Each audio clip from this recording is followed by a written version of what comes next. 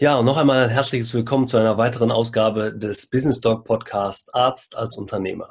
Mit diesem Podcast unterstützen wir euch und Sie auf dem Weg in die Selbstständigkeit und behandeln Themen, die auch über die klassischen Bereiche der Medizin hinausgehen und geben Tipps für eben diese Selbstständigkeit auf dem Weg zum Unternehmer.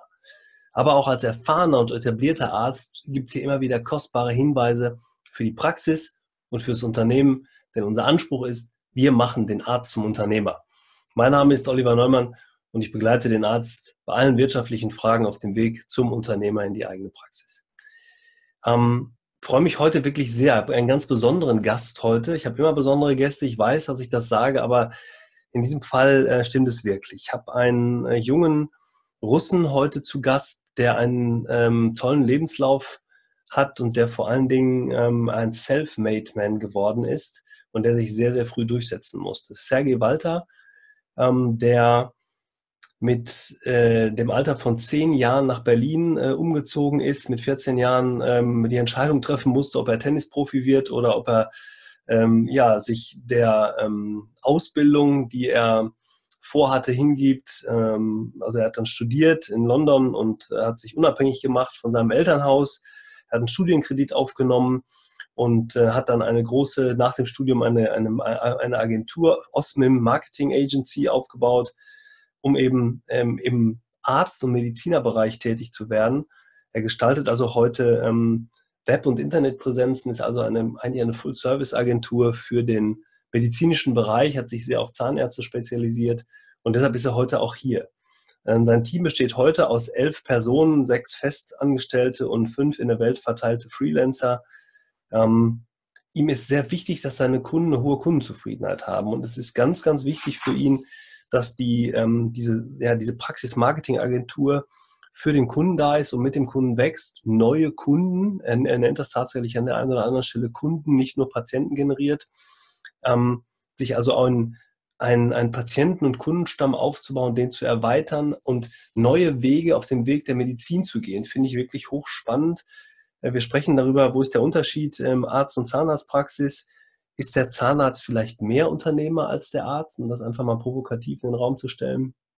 Und er ähm, schafft für oder möchte für seine Patienten mehr Reichweite schaffen und er möchte vor allen Dingen auch ähm, sichere, gute äh, Arbeitsplätze schaffen. Also ein hochinteressanter Mann, ganz junger Mensch, der ähm, ebenfalls auf mich zugekommen ist und den ich nur über diesen Podcast kennengelernt habe. Für mich immer wieder ein gutes Zeichen, dass wir ähm, mit dieser Idee des Podcasts und auch mit dem Thema Business Talk Menschen erreichen, die wir sonst wahrscheinlich nie erreicht hätten und dass da Synergien, Netzwerke entstehen. Freut euch drauf.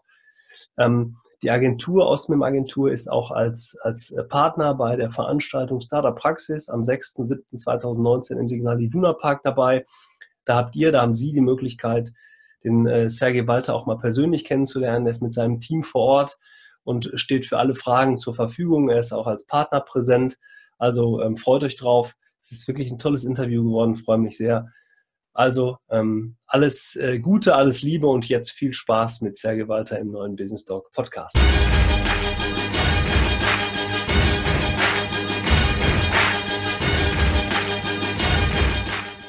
Ja, herzlich willkommen, äh, lieber Sergej, nochmal hier im Business Talk Podcast. Freue mich wirklich sehr, dass das geklappt hat. Ähm, den ersten Termin musste ich ja leider canceln oder absagen. Jetzt sind wir heute zusammengekommen. Freue mich sehr. Du bist live aus Berlin zugeschaltet.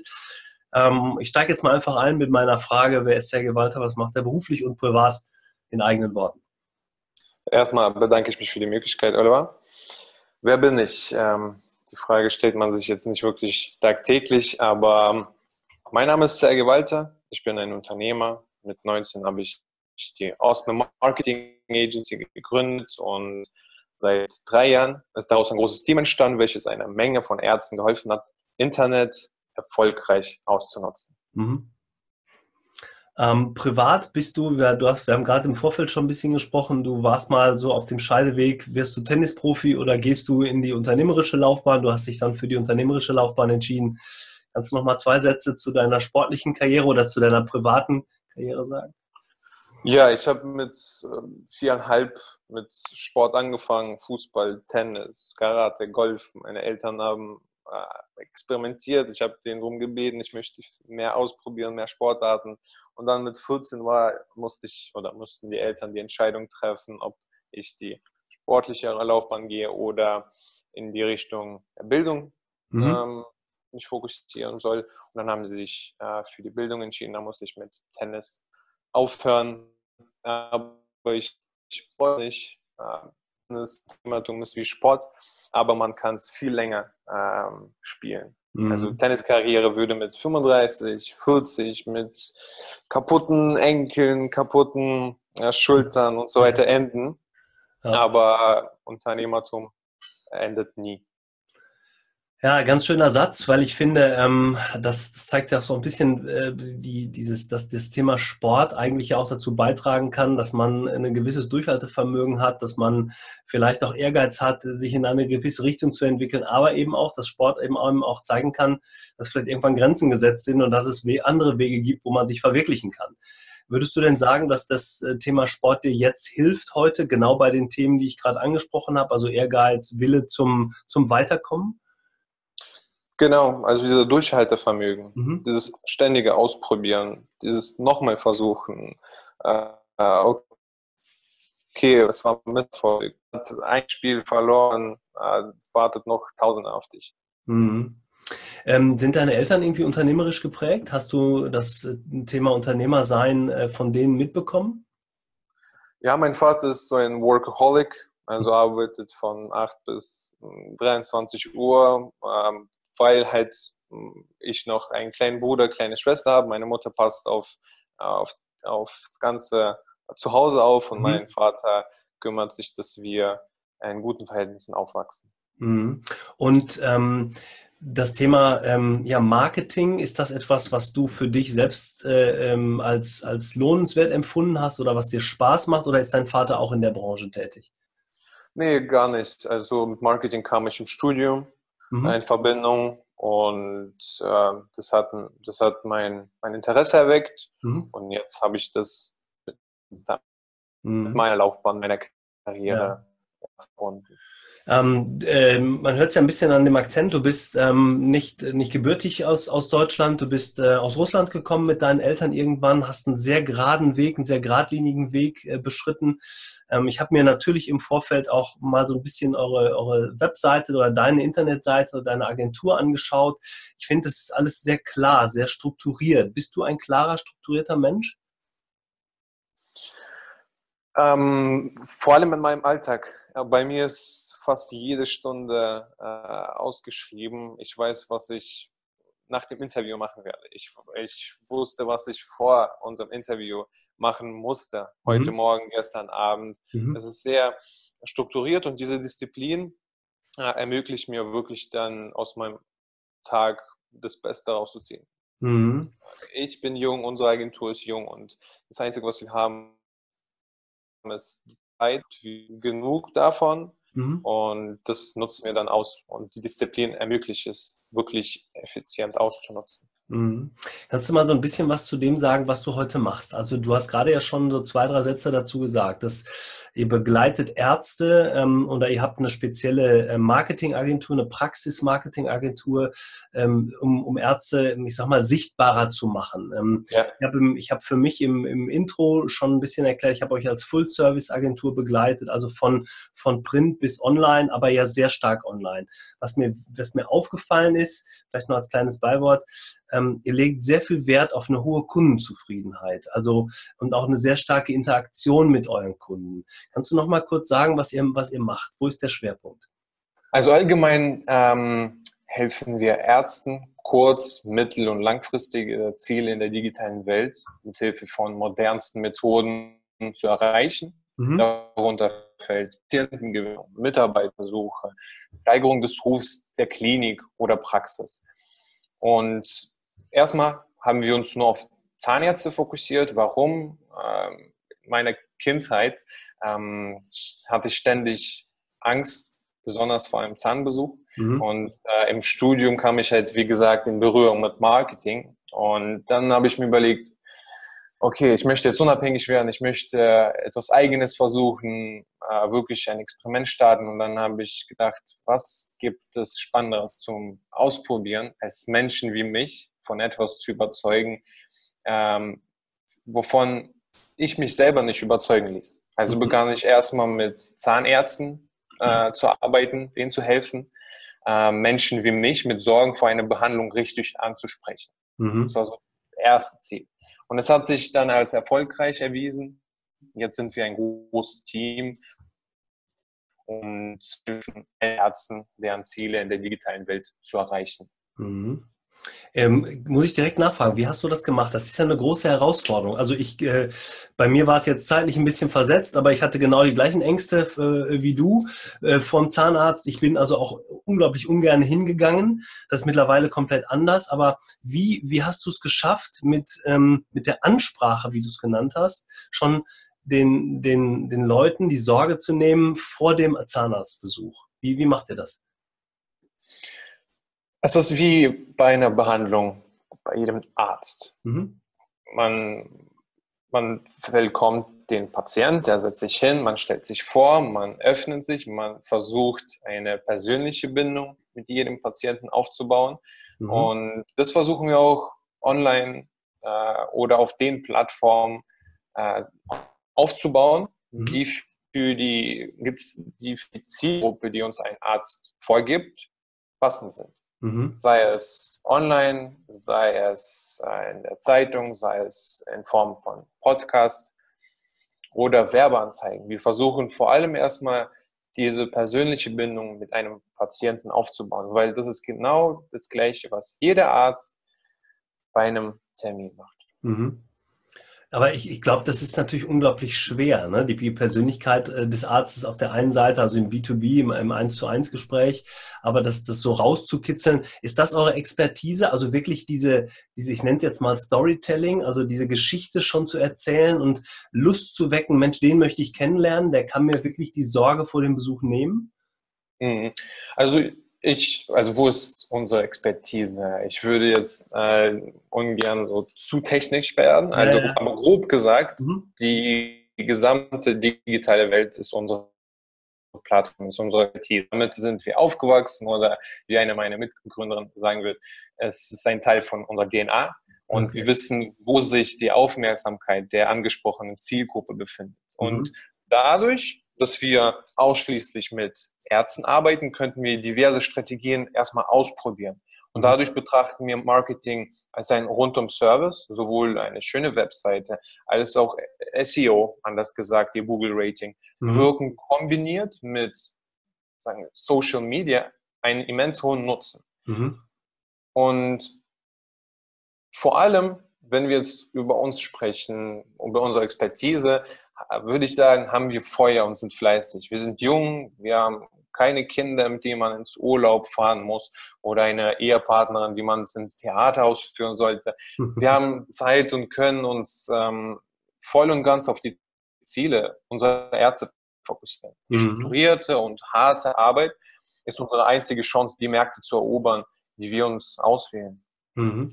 Ist das auch ein Teil des Unternehmertums, dass man vielleicht anfangs, also in den ersten Jahren, ähm, viel tun muss, um, um diese Expertise, die man hat, die du jetzt gerade sehr schön beschrieben hast, auch den Kunden deutlich zu machen? Also, ich meine, viele versprechen sich ja von dem Thema Selbstständigkeit, Unternehmertum, schönes Leben, ähm, äh, Urlaub, Yachten, Flugzeuge. Ich meine, guck auf Social Media, da siehst du ja immer die Leute, die sich so präsentieren.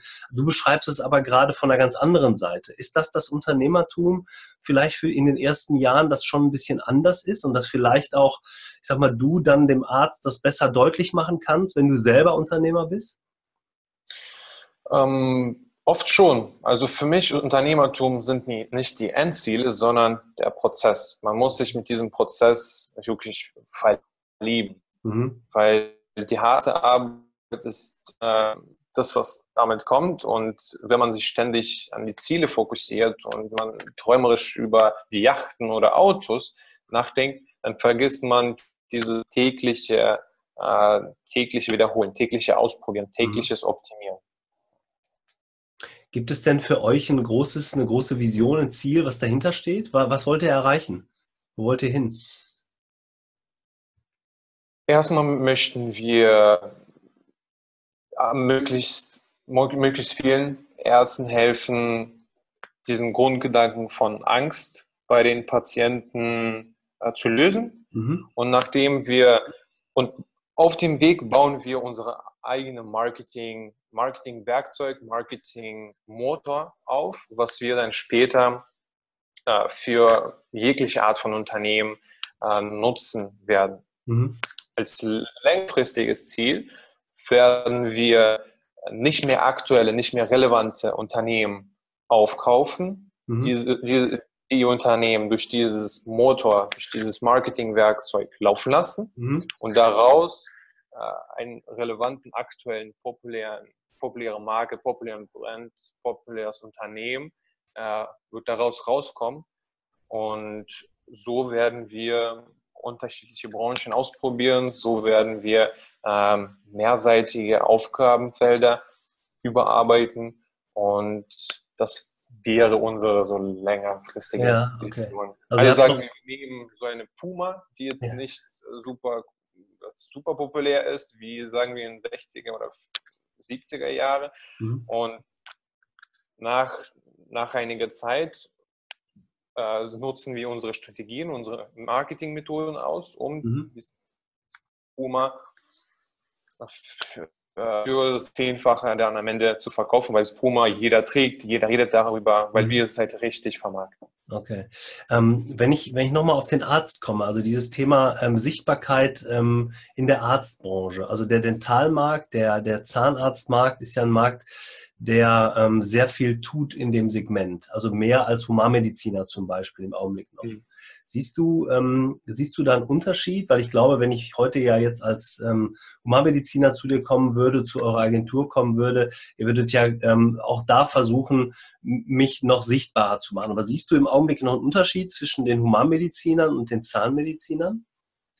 Nicht wirklich, ehrlich gesagt. Äh, ich finde, ähm, Oliver, diese Sichtbarkeit, was du gesagt hast, ist das Einzige, was wirklich zählt. Als mhm. Arzt sind äh, ihre Kompetenzen und die Bildung Standard, Industriestandard. Jeder Arzt muss bildet Menschen machen dürfen. Einer ist etwas mehr gebildet, der andere etwas weniger, aber damit hebt man sich heutzutage nicht von der Konkurrenz ab. Das mhm. Einzige, was immer in der Geschichte der Menschheit die wichtigste Rolle gespielt hat, ist, was Sie, Oliver, als Sichtbarkeit in der mhm. Frage mhm. genannt haben. Mhm. Oder ich es eher als Aufmerksamkeit bezeichne. Mhm. Okay. Egal, ob Sie mehr Implantatpatienten gewinnen möchten oder versuchen, neue Mitarbeiter für Ihre Klinik, für Ihr Krankenhaus zu finden. Erstmal müssen Sie sich fragen, wo befindet sich aktuell die Aufmerksamkeit dieser mhm. Menschen? Mhm. die ich ansprechen möchte. Wo und womit verbinden, äh, verbringen sie die meiste Zeit? Vor 100 Jahren ließ, äh, ließ fast jeder Mensch, unabhängig vom Alter, Zeitungen und die Unternehmen, die diese Quelle effizient ausgenutzt haben, waren erfolgreich und aktuell. Mhm. Im Vergleich aber zu den 80er, 90er Jahre des Jahrhunderts verbringen mehr Menschen heute äh, mehr Zeit im Internet. Und dann mhm. müssen Sie sich als Arzt fragen, wie nutze ich das aus? Wie mhm. nutze ich das aus, um meine Ziele zu erreichen? Ob Sie sich für die überteuerten äh, die überteuerte Werbung in Zeitungen entscheiden oder Werbung ähm, in der Google-Suche austesten, mhm. ist nur Ihnen überlassen. Bloß äh, wundern Sie sich nicht, warum der Konkurrent auf einmal auf der anderen Straßenseite nach und nach ihre Patienten für sich gewinnt. Mhm. Und äh, die anderen Menschen aus der Umgebung sich auf einmal für seine Praxis oder Klinik entscheiden. Okay. Mhm. Also das heißt, ich muss tatsächlich als, als Arzt, und da kommen wir wieder auf unser, unser Thema, das Unternehmertum beim, ähm, beim Arzt sein, ich muss als Unternehmer eben, ähm, äh, als Arzt eben Unternehmer oder unternehmerischer denken, damit ich, damit ich tatsächlich ähm, meine Konkurrenzsituation im Blick habe, aber auch die Entwicklung im digitalen Segment, im digitalen Markt. Du hast es gerade schön beschrieben. Wir haben sehr lange in, in, in Printmedien gedacht, wir haben sehr lange in ähm, Fernsehwerbung gedacht. Ist die, ist die Zukunft digitaler? Und wenn ja, wie nutze ich für mich noch mehr diese Zukunft aus? Also, ähm, denn ich, es muss ja, also ich bin ja der, ich bin der Arzt, aber was ist mit meinem Patienten? Also ähm, der, der junge Patient, äh, der, der guckt natürlich, also ich höre jeden Tag, wenn ich mich mit, mit jungen Menschen unterhalte, ich suche meinen Arzt ähm, nicht in der Zeitung, ich suche ihn nicht ähm, im, äh, in irgendwelchen TV-Spots, sondern ich suche ihn tatsächlich im Netz und ich informiere mich auch über ihn im Netz. Das heißt, muss allein seine Webpräsenz schon so gut sein, dass ich ähm, die Angst, die du ja vorhin beschrieben hast, ähm, mir nehmen lasse durch eine gute Webpräsenz, durch gute Fotos, durch einen guten Aufbau meiner Homepage. Sind das die Mittel für die Zukunft? Die Zukunft zeigen, aber worüber ich spreche seit heute. Heute ist äh, von Preis-Leistungs-Verhältnis das mhm. Internet das beste Angebot. Das wird aber in fünf oder zehn oder wie viele Jahren verschwinden, wie die mhm. Zeitungen aktuell waren, wie Radiowerbung.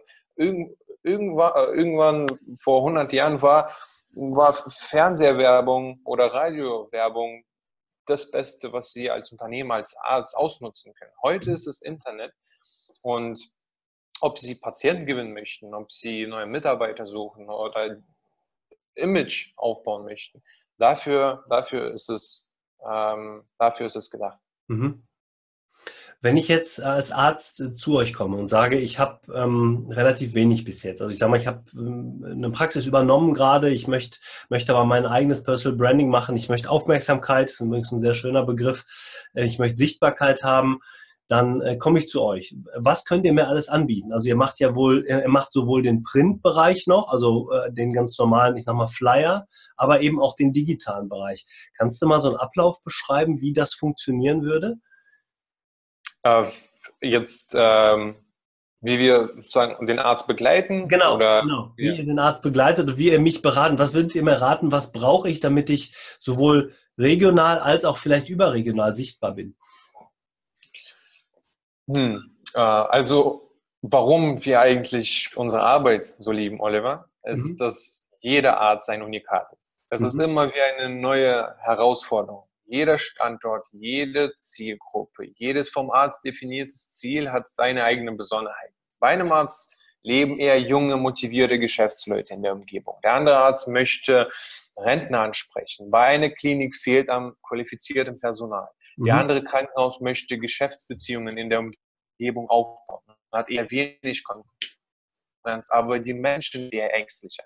Bei uns geht es allgemein zuhören und dann reden. Also als erstes versuchen wir gemeinsam korrekt Ziele zu definieren, kurzfristig, mittelfristig und langfristig.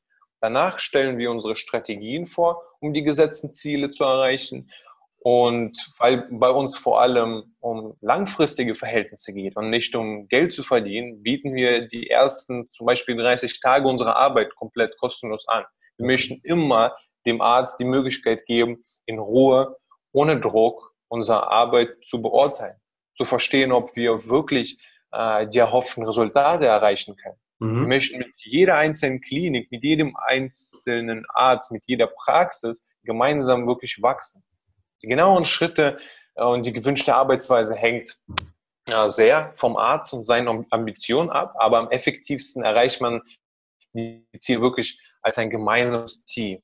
Mhm. Also wir berichten zum Beispiel monatlich, äh, was wir umgesetzt haben, was erreicht wurde, was uns gelungen ist, was eher nicht. Und durch diesen permanenten Austausch wissen wir immer Bescheid, was funktioniert und was wir lieber ändern sollen. Okay, das ist ja auch interessant, muss ich mal kurz rein. Also auf der einen Seite sagst du, ähm, ihr habt ähm, den Anspruch, dass der Kunde so zufrieden ist, dass ihr dem zunächst mal die ersten 30 Tage eurer Zusammenarbeit kostenlos anbietet. Und in dem Moment kann er entscheiden, ja, was die Agentur leistet, ist mir so viel wert, ich möchte gern weitermachen. Also das ist schon mal, ihr geht schon mal in Vorleistung, ist das richtig? Genau. Okay, zum Zweiten sagt ihr, es gibt ein monatliches Reporting und aus dem Reporting kann ich dann wiederum sehen, was mein, mein, ich sag mal, mein Kapital, mein Invest, den ich eingesetzt habe, jetzt in diesem Monat schon gebracht hat. Also bezogen auf, du hast vorhin das Thema Google, SEO und so weiter angesprochen. Ich kriege also ein monatliches Feedback von euch.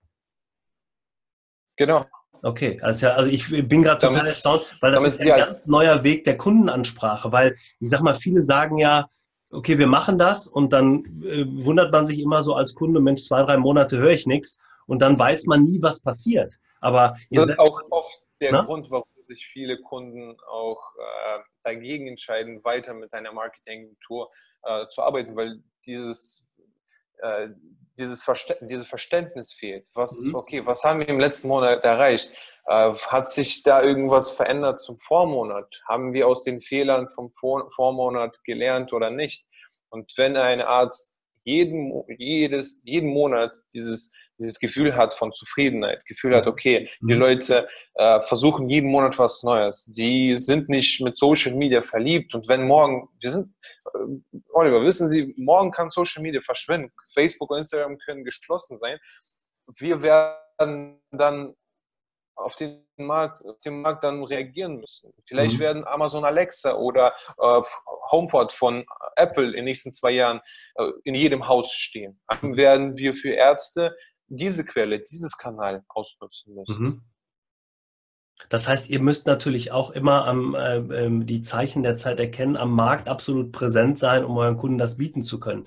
Aber nochmal, das ist insofern hochinteressant, weil ich eben viele höre, die, die nach einer kurzen Zeit, wie du es gerade gesagt hast, relativ unzufrieden sind mit der Begleitung der Agentur, weil die Ergebnisse für viele Agenturen ja auch ein Spiegel sind. Ist das, was ich gemacht habe, gut oder nicht gut? Und ihr bietet dem Arzt ja in dem Moment tatsächlich die Möglichkeit an, ähm, auch auf ja vielleicht negative Entwicklungen unmittelbar reagieren zu können und damit natürlich auch eine unheimlich hohe Präsenz in dem Kundensegment zu haben, das ich erreichen will. Ich habe mir auch aufgeschrieben von eurer Internetseite, ähm, ihr generiert komplett neue Patientengruppen, nämlich die, die der Arzt sich wünscht oder haben möchte in der Zukunft. Ist das richtig?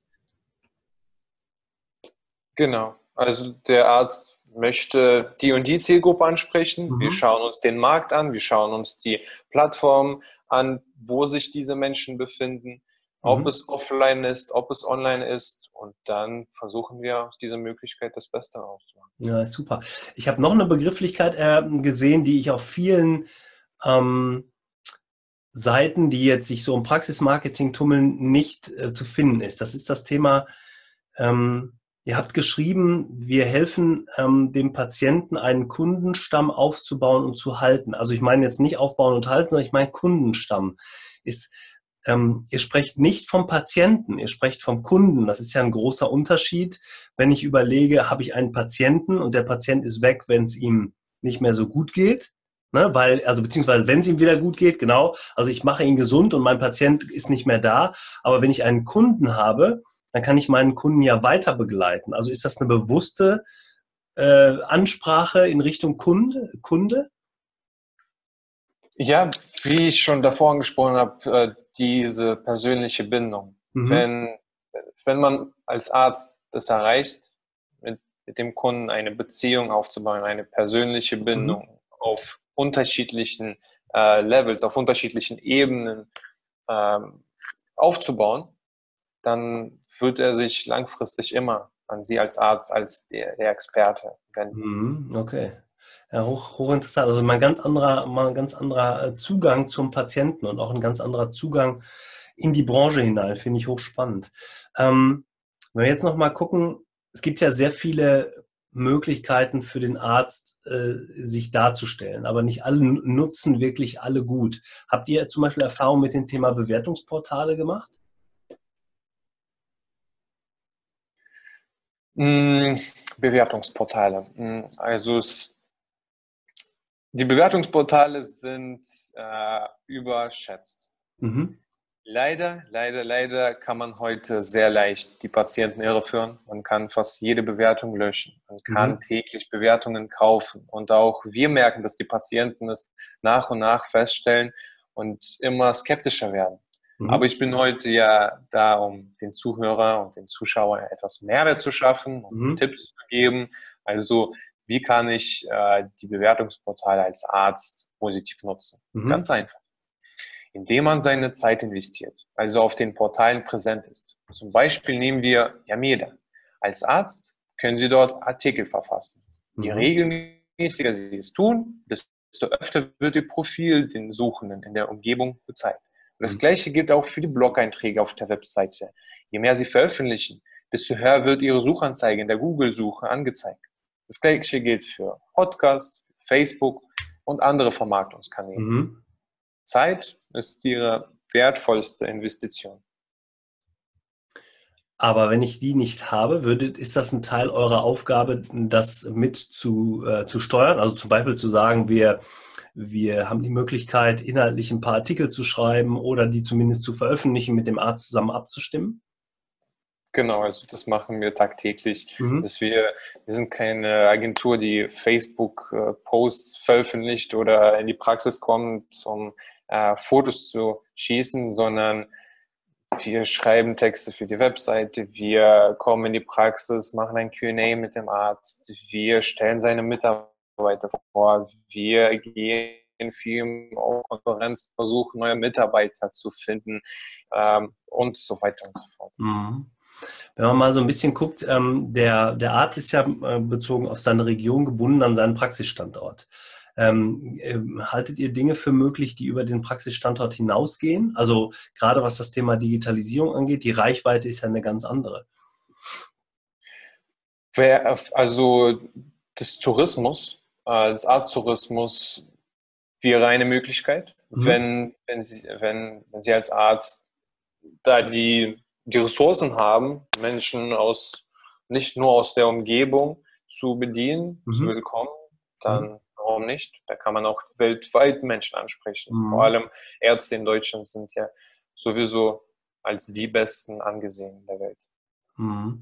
Ich äh, wollte so ein bisschen auf das Thema hinaus, also was ist, wenn ich zum Beispiel eine hohe Expertise habe, beziehungsweise eine hohe fachliche Kompetenz habe und diese, diese hohe fachliche Kompetenz zum Beispiel in einem E-Book verfasse, du hast vorhin das Thema selbst angesprochen, Podcasting, kleine Videosequenzen, vielleicht Film drehen, vielleicht, ähm, ich sag mal, online eine Akademie aufbauen, um meine Expertise, die ich habe, eben vielleicht einen kleinen Kurs noch mit runterzuladen, zu unterschiedlichen Themen. Ich weiß, es gibt sehr viele Zahnärzte, die selber ähm, zum Thema Implantate was entwickelt haben. Ähm, hältst du sowas für möglich, dass sich langfristig das etabliert? Da gibt es ja sehr unterschiedliche Meinungen zu. Also ich nehme mal ein E-Book zum Beispiel. Ne? Ähm, uns, also als Agentur, unsere Meinung gegenüber solchen Themen ist, mhm. man soll den Patienten, den Kunden so wenig wie möglich oder so wenig wie möglich Schritte erlauben bis, bis, bis, bis zur Praxis. Mhm. Okay.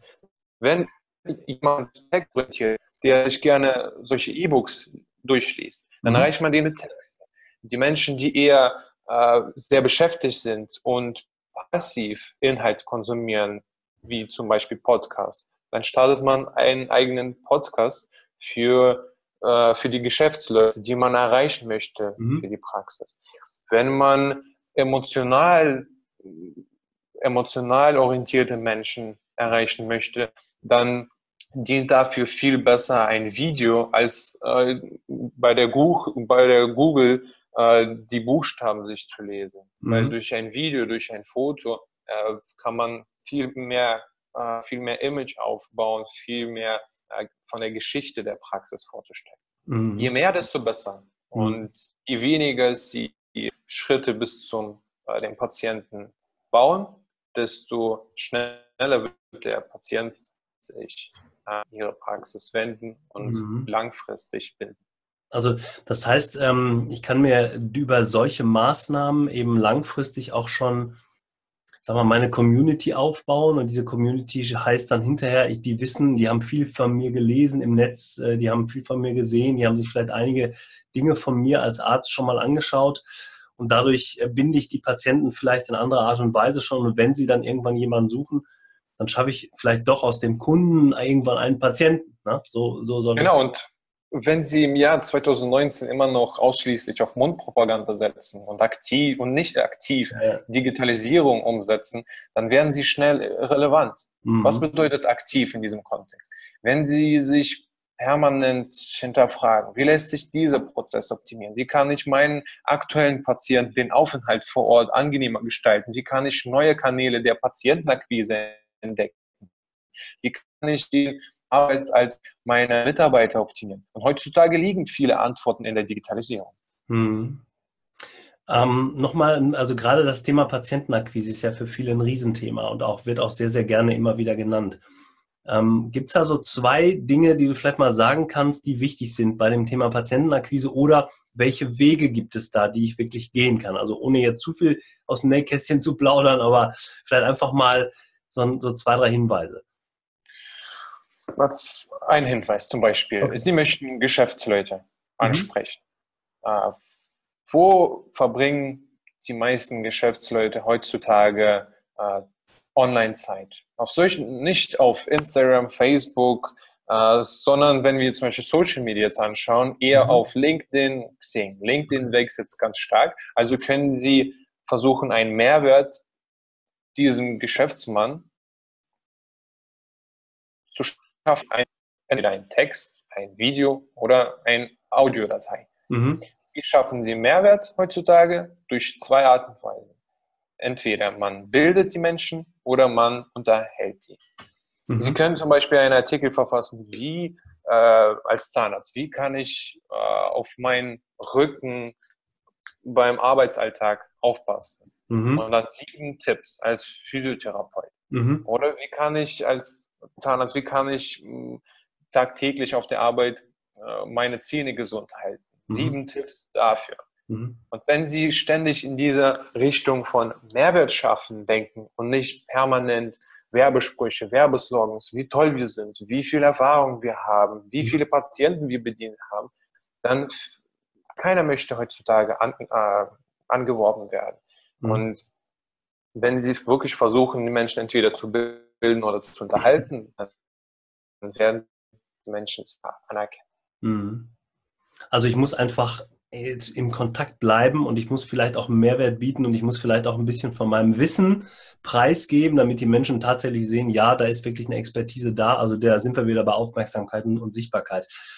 Sergej, wenn jetzt jemand sagt, er möchte mit euch in Kontakt treten, also er hat Lust einfach mal zu hören, wie ihr arbeitet, vielleicht auch und ähm, wenn das Angebot vielleicht auch für die Business Talk Hörer gilt, diese 30 Tage mal auszuprobieren, mit euch zu arbeiten, mit euch kennenzulernen. Oliver, dann, wissen Sie, wie wir das machen für die Zuhörer, Zuschauer von äh, Business Talk, ähm, diejenigen, die von, von Ihnen kommen, mhm. äh, denen bieten wir äh, sogar zwei Monate kostenlose Arbeit an, damit sie noch mehr äh, Zeit haben, okay. um wirklich uns kennenzulernen, äh, zu verstehen, womit wir uns zu anderen unterscheiden ja. und die Resultate zu sehen. Okay, super Angebot, vielen, vielen Dank. Es war jetzt nicht abgesprochen vorher, ich wusste auch gar nichts von diesen 30 Tagen, also deshalb ist natürlich super, wenn wir da schon wieder einen Mehrwert geboten haben. Vielleicht also alle die, die es tatsächlich interessiert und die sich an den CRG und die ähm, Agentur wenden wollen. Wir werden natürlich alle Verlinkungen in die Shownotes nehmen. Ähm, wir werden dann, vielleicht vereinbaren wir einfach den Hinweis Business Dog auf das Interview, damit ihr auch wisst, dass die Leute ähm, das, das, gehört haben und ähm, dann äh, haben wir jetzt schon mal wieder einen neuen Mehrwert mit zwei Monaten Gratisarbeit. Ich bin aber sicher, dass viele sich vorher für euch entscheiden werden, weil so, wie du, wie du es heute beschrieben hast, glaube ich, ein wirklicher Mehrwert auch dafür entsteht. Ähm, ich habe aber auch gesehen, auf eurer Internetseite gibt es ebenfalls Tipps und Hinweise. Ihr habt ja selber einen Blog, den ihr äh, betreibt und auch selber genau diese Hinweise für die Praxen rausgebt. Also zu sagen, was sind gute Tipps, was sind gute Hacks für den Bereich ähm, Marketing, Praxismarketing. Also auch da gibt es viel, viel Informationen und viele viele Möglichkeiten, sich erstmal mit euch in Verbindung zu setzen, beziehungsweise auch auseinanderzusetzen.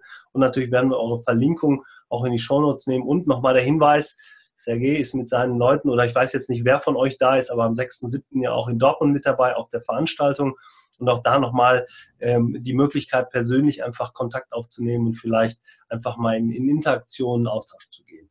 Ähm, weiß, zum Schluss meines Interviews gibt es immer die kurze Frage, kurze Antwortrunde. Die würde ich jetzt gerne einläuten bei uns. Ähm, die Zukunft der Medizin. Wohin entwickelt sich die Medizin aus deiner Sicht in den nächsten fünf bis zehn Jahren?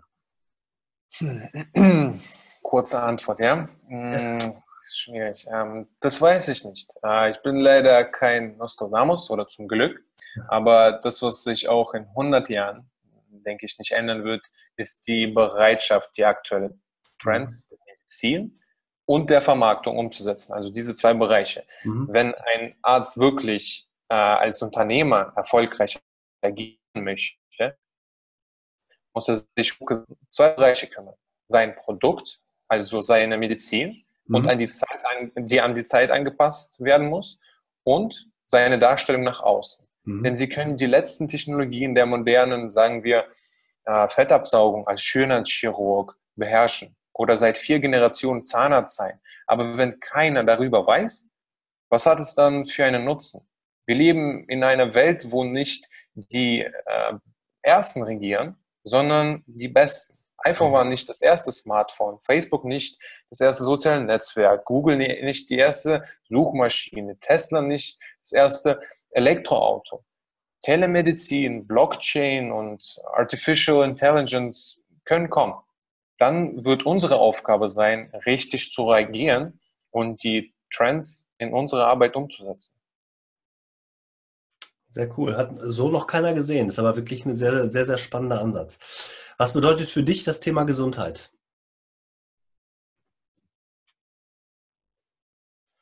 Äh, Gesundheit, okay, womit verbinde ich Gesundheit? Äh, mit gesund sein. Mhm. Man kann mental und physisch gesund sein. Mhm. Und wenn man mental und physisch gesund ist, ist meiner Meinung nach glücklich. Wenn man mit was ist für mich Glück? Wenn man mit einem Lächeln morgen aufsteht, äh, weil man sich auf den Tag, auf die Aufgaben, auf die Erlebnisse freut. Und aber auch gleichzeitig, wenn man den Tag mit einem Lächeln beendet. Das sind für mich so die Zeichen der Gesundheit und äh, des Glücks. Mhm. Schöner philosophischer Ansatz auch an der Stelle. Ja. Ähm, welche Eigenschaften sollte ein Arzt als Unternehmer mitbringen?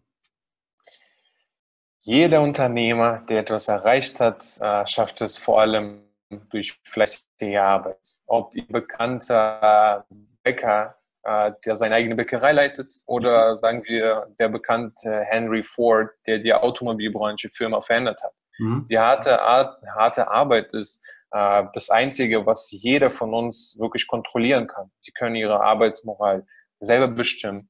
An ihrem Talent hingegen können sie nicht wirklich arbeiten bei uns gilt so ausprobieren, ausprobieren und nochmal ausprobieren. Ob äh, wie einer ihrer Gäste, äh, Dr. Ralf Jäger, mhm. äh, in seinem Interview erwähnt hat, äh, die Offenheit gegenüber anderer Dinge, etwas Neues auszuprobieren. Sehr geehrte Ärzte, wenn wir heute über die Vermarktung sprechen, äh, haben Sie als Arzt schon Infoabende organisiert? Erfolglos? Dann versuchen Sie vielleicht Facebook-Videos zu auch ausgetestet und nicht wirklich ähm, die Resultate erreicht, dann können Sie versuchen, mit lokalen Unternehmen, Radiosender zu kooperieren, Broschüren auszutauschen, mhm. Live-Videos online veröffentlichen. Sie können Blog auf der Webseite führen und, und, und. Wenn ich jetzt so zurückdenke, ähm, habe ich äh, genau durch Sport diese Arbeitsmoral in den jungen Jahren angeeignet seit ich viereinhalb äh, bis, zum, bis zum 16., 17. Lebensjahr hatte ich ungelogen täglich Sport, ob Feiertage, Geburtstage, egal was. Dreimal die Woche Fußball, zweimal die Woche Tennis, einmal Golf, zweimal Karate und ähnliches. Und an dieser Stelle ja, muss ich auch meinen Eltern großes Lob geben, denn das Einzige, was, in der kind, was ich in der Kindheit wollte, ist eine neue Sportart, Sportart auszuprobieren, zu testen, ob sie mir Spaß macht oder nicht. Mhm. Und als Unternehmer müssen sie sich diesen Drang nach neuen, besseren Wegen aneignen. Ja, sehr schön. Ich habe gerade, es mir in den Sinn gekommen, ich habe letztens ein Interview gehört ähm, mit Jörg Löhr, der hat genau das auch gesagt. Ne? Wenn eine Strategie nicht funktioniert, änder sie. Wenn die Strategie nicht funktioniert, änder sie. Wenn die nächste Strategie nicht funktioniert, änder sie. Aber bleib dran und äh, nimm das, was dann funktioniert und was dir Spaß macht. Genau das Gleiche ähm, von einem der bekanntesten Persönlichkeitsentwickler hier in Deutschland. Sehr, sehr schön. Ähm, Gibt es ein Buch oder einen Film, der dich in der letzten Zeit besonders mitgerissen, motiviert oder erreicht hat? Ja, immer schwierig, solche Tipps weiterzugeben, weil ich, ich finde, sowas hängt schon sehr von der Lebenssituation, Lebensphase ab. Aber wenn wir vom Arzt als Unternehmer sprechen, mhm.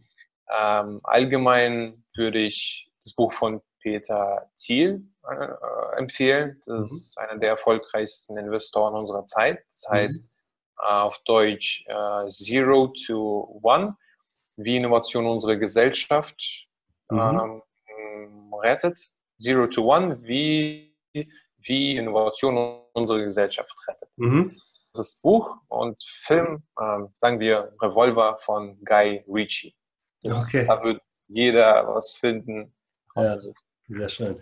Und die letzte Frage, gibt es jemanden, äh, den du uns äh, als Podcast-Gast für diesen Podcast empfehlen kannst? Ja, aus dem Medizinbereich. Gerne aus dem Medizinbereich. Hm, also der erste, der mir gerade eingefallen ist, wäre Doc Mo. Äh, er wird euch, das ist ein, so ein YouTube-Kanal von einem Medizinstudenten aus LMU München mhm. und er wird euch bestimmt vieles Nützliches darüber erzählen, äh, wie man einen Mehrwert der nächsten Generation von Patienten schafft, um sie ja. langfristig an sich zu binden. Ja, das finde ich hochspannend. Ich habe das, glaube ich, schon mal in einem Interview gesagt. Es gelingt äh, sehr selten, ihr junge Mediziner, also beziehungsweise auch Mediziner auf dem, auf dem Weg zum Mediziner sein oder äh, werden zu gewinnen. Ich hatte das schon mal zwei kurz vor dem Interview, die haben dann abgesagt, warum auch immer.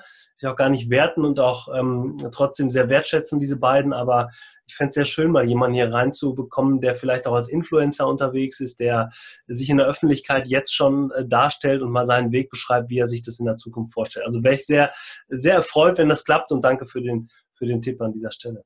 Oliver, ähm, ehrlich gesagt haben wir schon viel über Osmim äh, geredet. Erzählen Sie uns doch, was uns im Sommer in Dortmund erwartet. ja, vielen Dank. Das tue ich ja immer vor jeder Veranstaltung, äh, vor, vor jedem Podcast äh, gibt es ja. nochmal einen Veranstaltungshinweis. Ähm, also die Veranstaltung in, in Dortmund am 6.7. im Signal Iduna Park ist ja genau das, was wir, was wir ähm, hier auch im Interview besprechen, nämlich wir gucken uns die Seite der Medizin mal von einer ganz anderen Seite an. Also wir schauen, ähm, dass wir den, den Topf aufmachen oder den, ähm, ja, den Deckel vielleicht von dem Topf nehmen, also vom Medizintopf nehmen, um mal Bereiche in die Medizin reinzulassen, die vielleicht gar nicht so bekannt sind und die ähm, für die Medizin aber der Zukunft aus meiner Sicht unglaublich wichtig sind. Also wir, wir schauen uns, wir haben Redner, wir haben zwölf Speaker da, wir haben einen B2B-Bereich da, wir haben die Möglichkeit, ähm, mit den Rednern und Speakern zu lernen, also aus der Persönlichkeitsentwicklung. Äh, wir haben Universitätsprofessoren da, wir haben Leute aus dem Marketing da, wir haben aber auch ähm, äh, Ärzte da, die ihre Erfolgsgeschichte zeigen. Also du hast gerade Dr. Ralf Jäger angesprochen von MediOne, der eine unglaublich tolle Geschichte zu erzählen hat, den man auch mal live sehen kann, also mit dem, was er da macht, mit seinem Behandlungskonzept. Ähm, wir haben zum Beispiel auch den äh, Professor Dr. Werner da, der auch schon hier im Podcast gewesen ist, der Universitätsprofessor beziehungsweise der Leiter der Uniklinik ähm, Essen-Duisburg. Also hochspannendes Thema. Äh, wir sind Gott sei Dank von zwei Verlagen unterstützt, also von dem Thieme Verlag, vom Springer Verlag, die das nochmal redaktionell und deutlich machen. Osmin hat sich ähm, beteiligt an der Veranstaltung, freue ich mich auch wirklich sehr drauf. Also eine hochspannende Sache, aber danke, dass du nochmal darauf hinweist. Ähm, und die Karten sind ab sofort über die Seite ähm, www.startup-praxis.de auch online. Aber wir wollten gar nicht so über, über mich sprechen, sondern es geht ja um, um euch. Sergej, ganz lieben Dank für deine Zeit heute Morgen und dafür, dass du uns hier im Podcast mal zur Verfügung gestanden hast und mal ein bisschen Einblicke gibst in eine Welt, die für viele Mediziner ja noch sehr neu ist, nämlich in das Thema Praxismarketing auf einem sehr ganzheitlichen Weg, auf einem Weg, ähm, der auch digital sein kann. Und ähm, für alle, die, die zugeschaut haben und zugehört haben, danke fürs äh, Dabeisein. Und wie immer zum Schluss, ähm, denken Sie dran, uns zu bewerten bei iTunes oder YouTube. Und bleiben Sie unternehmerisch. Und das Schlusswort hat wie immer mein Interviewgast. Ähm, wir reden ja heute über Vermarktung. Äh, wir haben heute über Vermarktung geredet und ähm, eine Bitte an alle Ärzte. Machen Sie bitte aus Ihrer Marke, aus Ihrem Unternehmen, aus Ihrem Namen keine permanenten Werbekampagnen mit Werbesprüchen, die ständig nur darüber erzählen, wie gut Sie sind. Denken Sie vor allem erstmal über den Mehrwert, welchen Sie schaffen können. Und ähm, zweite Sache, Oliver hat es gerade angesprochen, ähm, liebe Podcast-Zuhörer, liebe YouTube-Zuschauer, wenn Oliver euch in irgendeiner Form Nutzen gebracht hat, mit seinen Interviews zum Nachdenken erregt, erregt, an, erregt, angeregt hat, angeregt, ja.